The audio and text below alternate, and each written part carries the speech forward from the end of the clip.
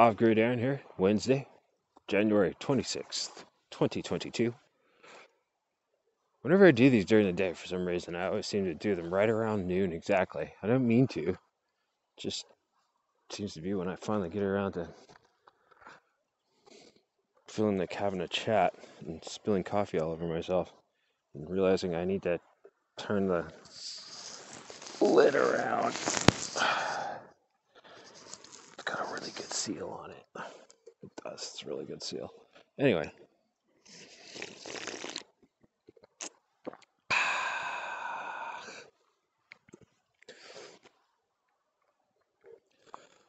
Man, if you listen to the news at all, it's Russia, Ukraine. Boris Johnson likes to party.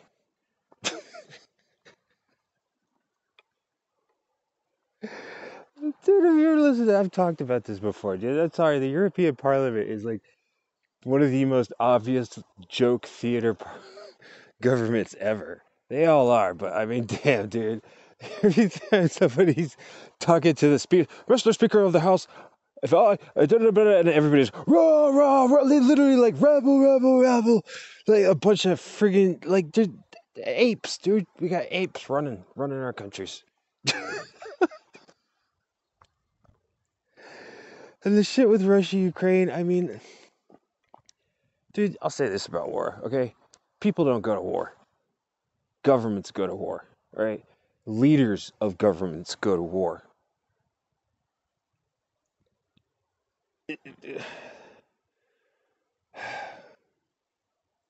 How long are we going to keep letting them do this shit to us? I mean, honestly, would you ever start a war with another country if it was up to you? I got news for you. The people in every other country feel exactly the same way. But you know, their governments, oh, we got to go to war with these people and take their shit or not do it because we're not going to take their shit. And dude, it's literally children. We've got children running this country. It's not even apes, it's ch- child apes. Ape children are running our country. They're the most juvenile, insecure, little friggin' douchebag bully pricks to ever walk the planet, and we let them lead us? What the hell? It's just, come on, people. Come on. This is just stupid. It's like, if you can't t- sit down and talk shit out with your fellow man, knowing full well we're all stuck on this planet together no matter what. Because, okay,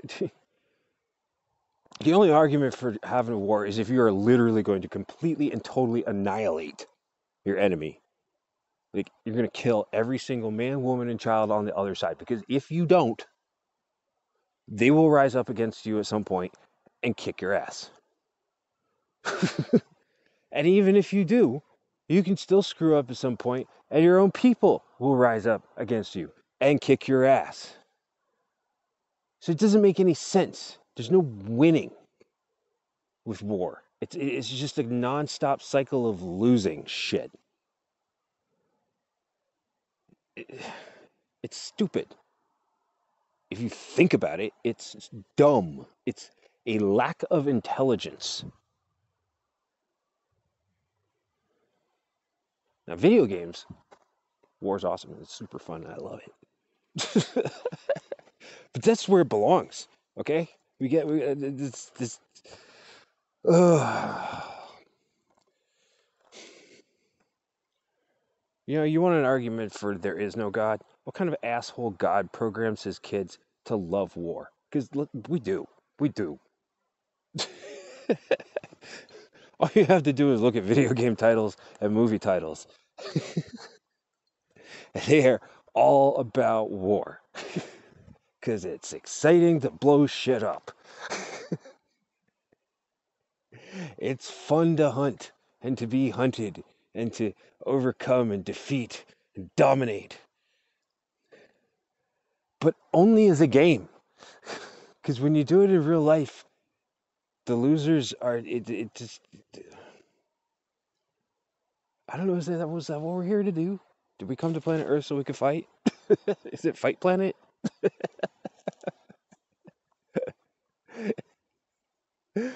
Uh, I don't know. Maybe like reincarnation is just like inserting yourself into different virtual worlds, and uh, you know, a lot of people are like, "Ah, I want to insert myself into a war world where people just fight all the time about everything, no matter what."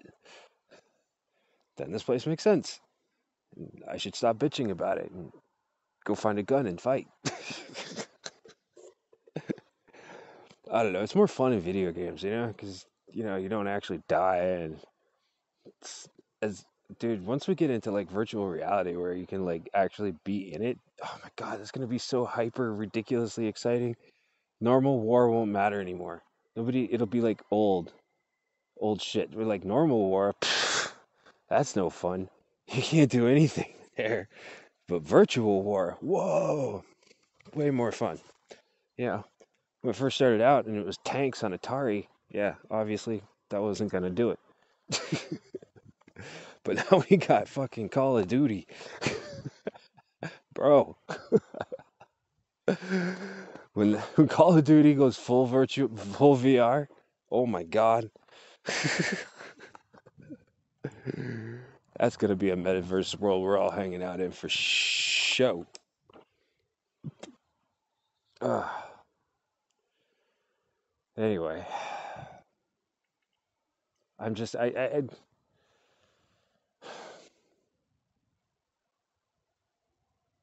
because you know what's going on, right? Okay, like the, the governments are losing control of the people, and one of the first things they do whenever that happens is they go to war because it gets us all tribaled up and we just forget everything else. And the other thing is the PS, the military industrial complex still exists. Oh, and hey, did you know China has their own military industrial complex? So does Russia and Europe and every country on the planet. Yeah, they all got one. So it's a big money maker. So that's not going anywhere. Unless we can get all all of the military contractors to transition into uh, making virtual reality war games. If we could get them to move into that market and away from the like you know live munitions that actually blow people to little bits. I'm sure that's very exciting and fun for some people but you know the person getting blown up is not having a good time and, and they don't have any more lives I, I don't think i don't know again then again uh, re- reincarnation is true that life really is a video game and you have endless lives and you just keep coming back. That changes things. You know, that's a big deal right there. Like whether or not like reincarnation's a thing or it's a heaven and hell thing or it's a no thing. Like that's that's the main question for me. And it disturbs that's one of the questions that it disturbs me most that people just like believe whatever they're told to believe by the people that they trust when they're growing up. Okay? That's that's what we call it religion but that's really all it is. you know, you're just carrying on the myths that your parents were programmed with because they were programmed by their parents with it, and so on and so forth. Um, but you know, the reality of it is there's a there's an absolute truth on this of some kind, you know, and uh, there's a pretty decent chance that none of the current religions really have it right. Um, yeah, I, I want to say that, like, you know, the ones that believe in reincarnation maybe are onto something, but that's just something I want to believe. Like, I, it would be easy for me to say, oh, you know, it's probably likely that reincarnation is true. I don't know that. I want that to be true. It's like, God, I hope that's the case. it might not be. Yeah, if the atheists are right, then it's there's likely nothing. But you know, there's the chance of like the universal spirit and love and yada yada yada, and maybe you know the universe remembers the idea that no energy ever dies; it just transforms. Um, that's at the end of it. The you know, on a basic molecular level, we are all just energy. um, so you know, then you have to get into well, what's consciousness and is that transferable? What does it transfer to? How does it transfer? How come nobody's got any real like empir- empirical proof of like life after death? And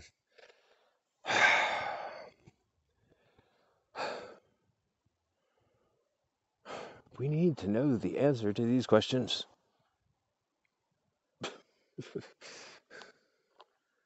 I mean, I guess we don't really need to. Everybody else seems to be totally fine just believing whatever bullshit they believe. I need to know the answer to these questions. It'd be nice. I would like that. I've searched far and wide around the world, read myriads of books, meditated and prayed, worshipped and called out and screamed for God, please speak to me, God. Nothing. The voices in my head don't count no matter what you think.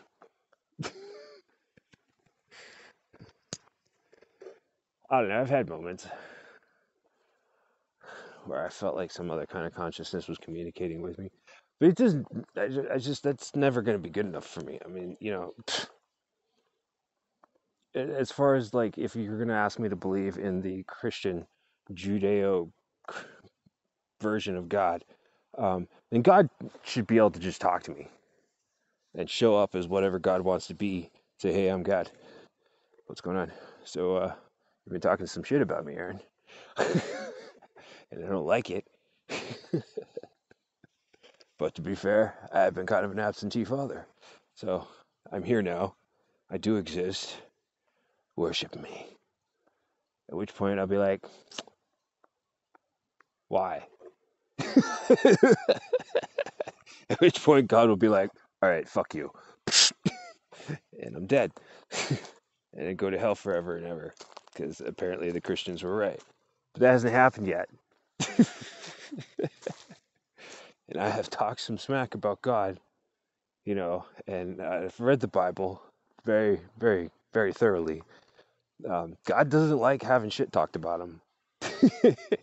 He's decimated entire cities for less. Hell, he wiped out the entire planet at one point, except for some some few dudes that he really liked who he put in a boat. they got every animal on the planet into a boat.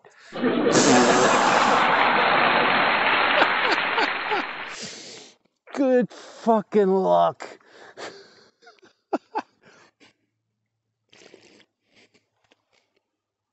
that would have been the greatest floating zoo, zoo period, to ever have existed, ever, ever, ever, ever. I mean, Jesus. Dogs, where are you, dogs? Come on.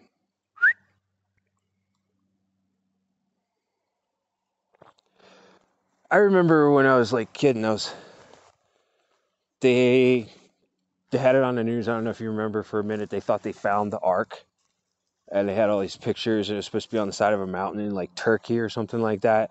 And then there's like a whole bunch of like unrest, and so no one was ever really able to go up and look at it. Whatever happened to that?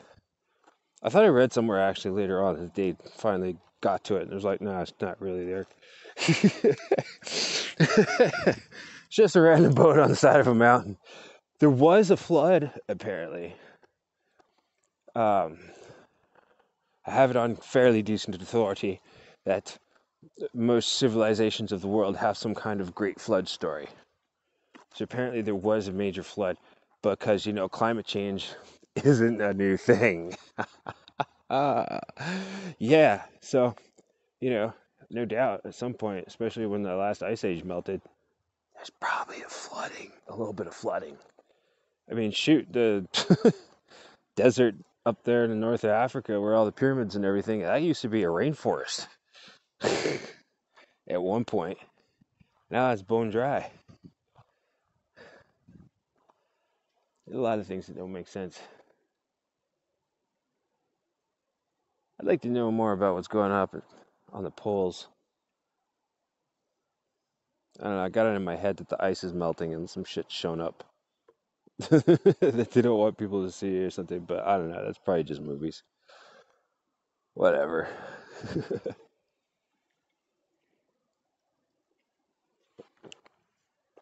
what else is going on? Yeah, Boris Johnson. Whatever. uh, who cares if he had a fucking party? Queen's pissed because he had. Oh, don't get me started on royalty.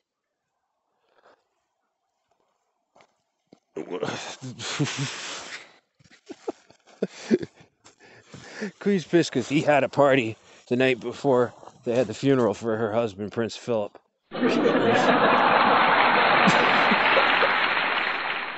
Lots of people probably had parties, and they sure well should have. The end of monarch, the existence, the fact that monarchies still are allowed, that they're still respected and looked at as anything to look up to and respect is absurd. You're talking about the family that colonized the entire friggin' planet. They're literally like uh, the most re- recent version of the Roman Empire. Okay? and like all every country on the planet has spent the last few hundred years the United States included, I'd like to remind you, getting free from them. It's, it's, it's, that we give a shit about Europe and especially England in any way whatsoever is beyond me. I am just like, if there was ever an indication that our government was really somehow secretly still beholden or under the thumb of, of the of the English monarchy, of the queen and king and queen or whatever, that's it right there. Okay? That on top of the fact that like we have presidents that are getting knighted and there's also a thing that like traces the bloodline of almost every president we've had back to like King Henry the Second or something crazy like that. Some kid looked it up. It was in the news a while back. You had to have heard about it. How come no no news agency picked out picked up on that one? It wasn't like she was found out to be lying or something.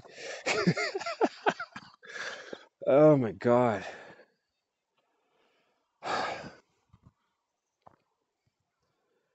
It's just in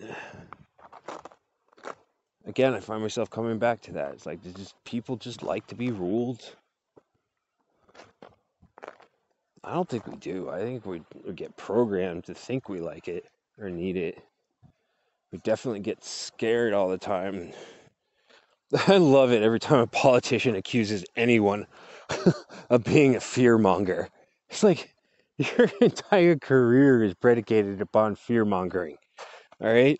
If people weren't scared to shit all the time, they would have realized a long time ago what a useless piece of crap you are and that you're starting all the problems that you now claim we need you to fix. That's what politicians do. they create chaos and then whine on endlessly about how they need we need them now to fix the problem they made. Oh my god. You know, the entire reason that we have problem in the Middle East is because of two things. Two things only.